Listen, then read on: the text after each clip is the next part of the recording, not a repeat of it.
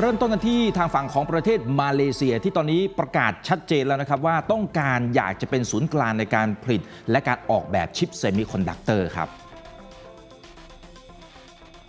บลูมเบิร์กออกมารายงานนะครับ บอกว่าทางการมาเลเซียนั้นจะตั้งศูนย์กลางในการออกแบบชิป ในรัฐสลังงอร์ เพื่อเป็นการเพิ่มความสามารถในการออกแบบชิป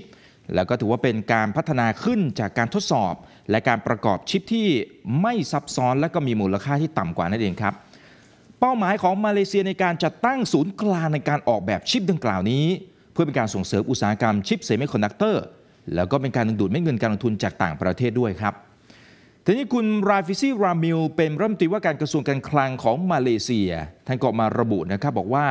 กระแสความสนใจเกี่ยวกับศูนย์ข้อมูล ก็จะมีส่วนในการช่วยผลักดันความต้องการเซมิคอนดักเตอร์อย่างต่อเนื่อง และเมื่อถึงจุดหนึ่งครับ มาเลเซียก็ต้องการขยับ จากการใช้ชิปที่ออกแบบจากที่อื่น แต่ว่าต้องการเห็นศูนย์ข้อมูลในมาเลเซียใช้ชิปที่ออกแบบโดยชาวมาเลเซียเองครับทีนี้พันธมิตรของศูนย์กลางการออกแบบชิปที่เรียกว่าศูนย์ขับเคลื่อนเซมิคอนดักเตอร์และการออกแบบแผงวงจรรวม ซึ่งก็จะมีทั้ง Cadence Design Systems ซึ่งก็เป็นผู้ผลิตซอฟต์แวร์ แล้วก็ ARM Holdings บริษัทผู้ผลิตชิป โดยศูนย์กลางในการออกแบบแผงวงจรรวมแห่งนี้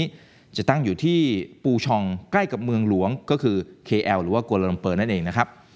ทานี้มาเลเซียเป็นที่ตั้งของโรงงานประกอบชิปหลายแห่งด้วยกัน แล้วก็ป้อนให้กับ Intel Global Foundries แล้วก็รวมไปถึง Infineon Technologies ทำให้เป็นศูนย์กลางระดับภูมิภาคที่สำคัญในห่วงโซ่อุปทานทั่วโลกครับ นอกจากนี้ยังดึงดูดบริษัทชิปจากประเทศจีนที่ต้องการแหล่งที่สามารถเข้าถึงแหล่งเงินทุน รวมถึงเทคโนโลยีจากต่างประเทศได้ง่ายมากยิ่งขึ้น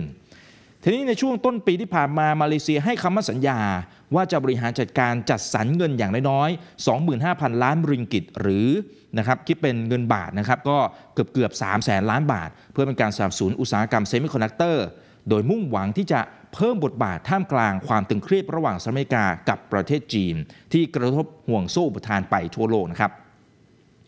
ทีนี้ครับมาเลเซียตั้งเป้าอุตสาหกรรมเซมิคอนดักเตอร์จะเพิ่มการส่งออกให้เป็น 2 เท่าตัวได้ และก็มีโอกาสแตะไปที่1ล้าน2แสนล้านริงกิตภายในปี 2573 แล้วก็จะขึ้นแท่นเป็นผู้ส่งออกชิปรายใหญ่อันดับที่ 6 ของโลกเลยทีเดียวนะครับ ขอบคุณที่ติดตามรับชมรายการย่อโลกเศรษฐกิจครับ อย่าลืมกด subscribe กดกระดิ่งกดไลค์กดแชร์ในทุกช่องทางออนไลน์ของ TNN ช่อง 16 ครับ จะได้ไม่พลาดทุกรายการสด แล้วก็คลิปวิดีโอที่น่าสนใจมากมายครับ